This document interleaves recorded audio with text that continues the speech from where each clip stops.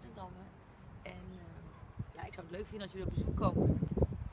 Eh, 29 april in Theater de Veste in Alkmaar zijn Arie en ik in het Theater de Veste. En eh, ja, Arie, wat gaan we allemaal inslaan? Blokjes kaas, borrelnootjes, meelwormen. Vinden de mensen vast heel lekker. Gezellig, thuis bij Ellen. Volgende keer bij jullie thuis.